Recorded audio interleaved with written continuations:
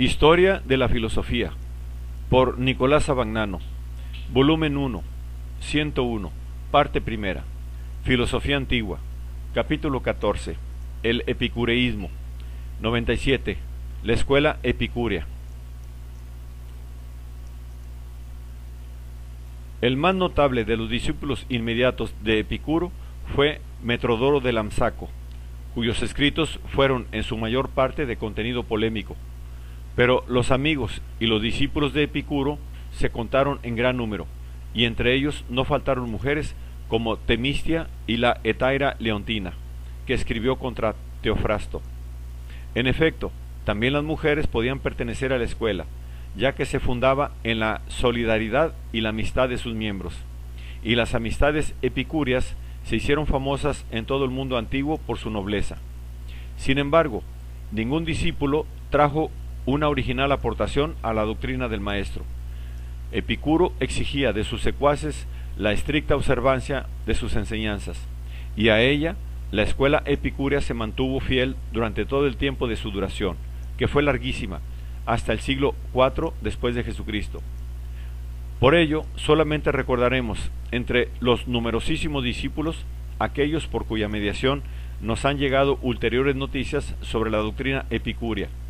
Los papiros herculanenses han revelado algunos fragmentos de Filodemo, contemporáneo de Cicerón, los cuales se refieren a muchos problemas tratados desde el punto de vista epicúreo, y nos presentan la polémica que se desarrollaba entonces en el interior mismo de la escuela epicúrea, y entre ella y las demás escuelas. Tito Lucrecio Caro, en su De Rerum Natura, no tan solo nos ha dejado una obra de gran valor poético, sino también una fiel, una fiel exposición del epicureísmo. Poco se sabe de la vida de Lucrecio. Probablemente nació en el 96 a.C. y murió en el 55 a.C. La noticia de que estaba loco, que nos ha llegado por mediación de los escritores cristianos, y de que escribió su poema en los intervalos de su locura, puede ser una invención debida a la exigencia polémica de desacreditar al mayor representante latino del ateísmo epicúreo. En todo caso, resulta poco verosímil, dada la causa a que se atribuye la locura del poeta, un filtro amoroso los seis libros de la obra de Lucrecio, inacabada, se dividen en tres partes, respectivamente dedicadas a la metafísica, a la antropología y a la cosmología, cada una de las cuales comprende dos libros. En el primero y en el segundo libro se trata de los principios de toda la realidad, de la materia, del espacio y de la constitución de los cuerpos sensibles.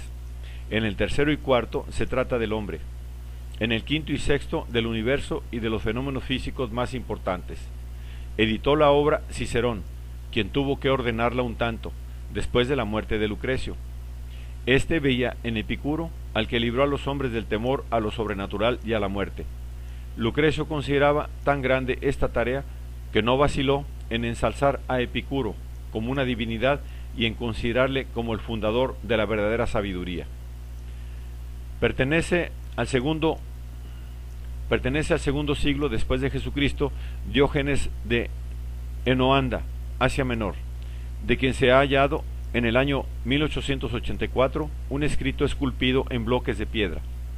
Estas inscripciones revelan una doctrina conforme con la original de Epicuro. Su única novedad es la defensa del epicureísmo contra otras corrientes filosóficas, especialmente contra los diálogos platónicos de Aristóteles.